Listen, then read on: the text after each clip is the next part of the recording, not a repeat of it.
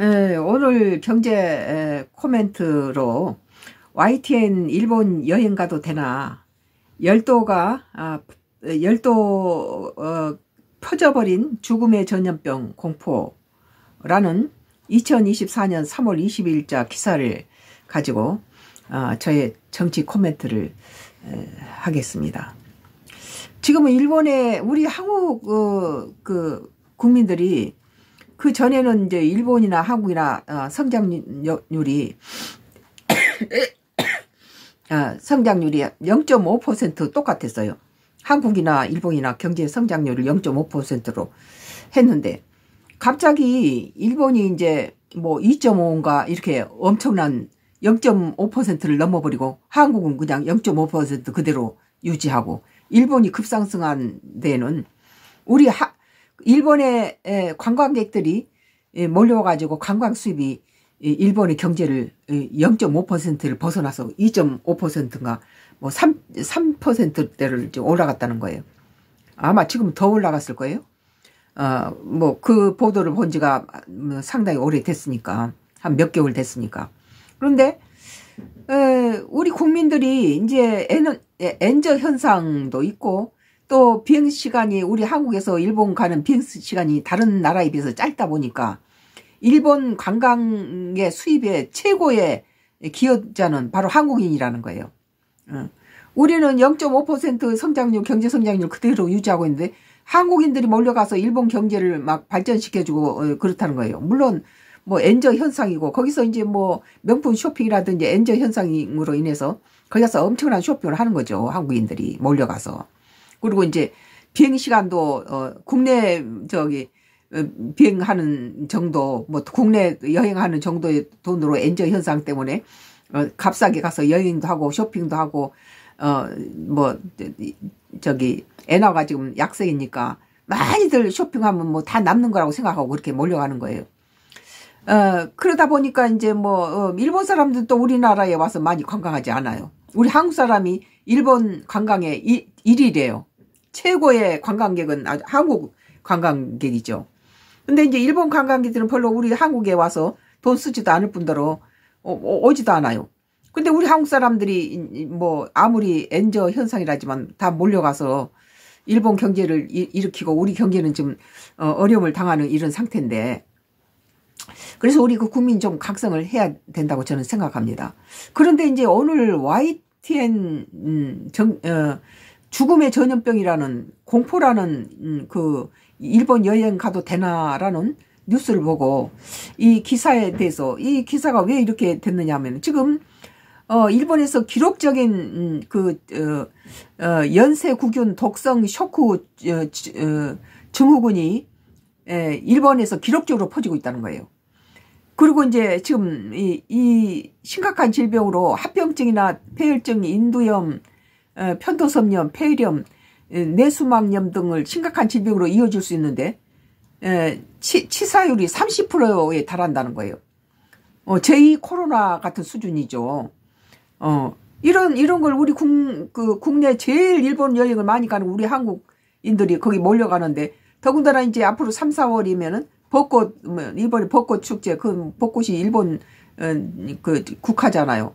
사방이 벚꽃을 우리나라도 벚꽃이 많이 피어 있지만 어 그 일본 사람들이 옛날 일제 시대 때다 우린 지금 시골에도 보면은 그, 그 시대 심어놓은 일본의 국화가 벚꽃이에요 사쿠라 그, 그래가지고 전부 도로변에 다 벚꽃이에요 뭐뭐 뭐 이렇게 굵은 저 오래된 7, 어, 80년 된 벚꽃들이 쭉 가로수로 이어져 있는데 이제 일본에는 더 가, 장관이겠죠. 그러니까 이제 사람들이 어, 뭐 비행상 시간도 국내 여행만큼 짧고 또 거기다 엔저 현상으로 몰려가는데 지금 만약에 이런 좀 일본에서 어 그 좀 3, 4월 벚꽃 시즌에 예, 우리나라 관광 시즌하고 맞, 맞물려서 일본에 이제 거리상 가깝고 그러니까 엔저 현상으로 한국인이 떼거리로 몰려가서 이제 가장 중요한 것은 어, 일본 경제를 상승시켜 준 것도 좋은 일인데 어, 물론 우리 한국과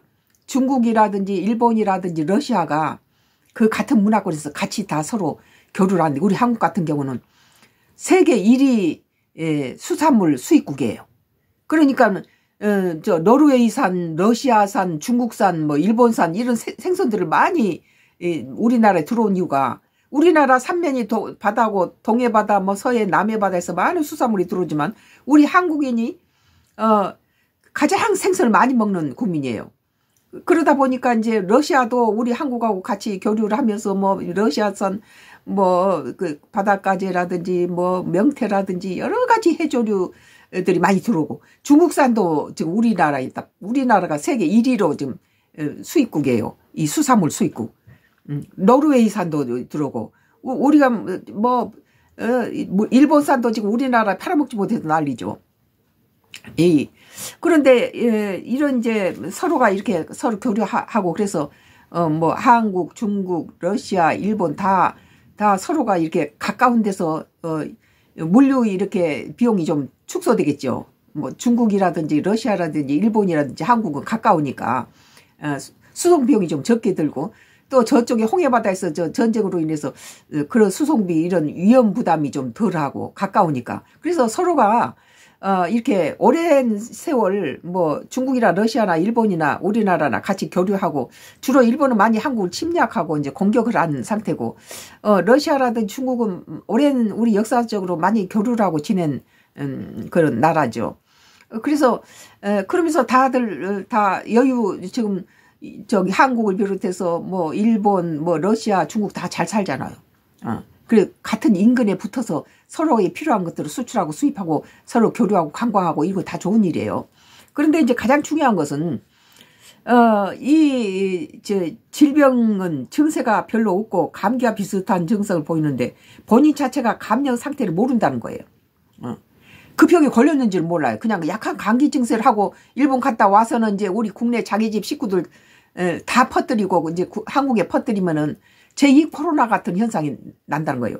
그래서 일본 정, 정부에서도 많이 긴장을 하면서 그 균, 어, 지금 현재 그 일본 47개 현에서 어, 두개 현을 제외하고 45개 현에서 감염이 다 나타났다는 거예요. 병, 그, 균 조사를 했는데 47개 현, 현에서 45개 현에서 다 나타났어요, 국인이. 그러면 우리 관광객들이 거기 가서 다 올마온다는 소리예요. 거기서 거기서 감염돼 가지고 거기서 30% 죽, 뭐 치사율도 30%라니까. 어 그런데 그것을 이제 얼마 가지고 국내 오면 그게 그 저기 코로나랑 마찬가지로 이렇게 어, 사람들 이렇게 접촉으로도 되고 호흡기로도 되고 이렇게 공기 전염도 되고 피 피를 피가 이렇게 서로 음 같이 음 뭐 이렇게 공기 전염도 될 뿐더러 피 이런 어그 상처 신체 접촉 어 그리고 비말 코로나처럼 그렇다는 거예요. 그러니까 지금 어, 이, 이 YTN에서 지금 일본 여행 가도 되나 아, 죽음의 전염병 공포 이런 주제로 지금 기사가 나와서 내가 어, 지금 이거에 대해서 정치 코멘트를 하고 있는데 이럴 때 일본 여행 가서 코로나처럼 이 균을 국내에 유입시켜서 가족은 물론이고 우리 나라에 퍼뜨려 제2 코로나 사태가 될까봐 걱정스럽다는 거예요. 어. 그래서 어, 우리 국민이 일본 비행 시간이 짧다 보니까 대거 몰려서 애나 약세로 명품 쇼핑 등을 한국 경제에 주름살 만들고 어, 일본 이제 그 에, 에, 그쵸 일본 경제는 아주 살려주고 있어요. 아주 한국 방문객으로 인해서 관광 흑자로 인해 일본 경제는 한국과 똑같이 0.5%였는데 지금 2.5% 3%를 상승했다고 하니까 에, 그렇다고 해서 일본인들은 한국 관광을 어, 한국인처럼 오지 않아요. 어.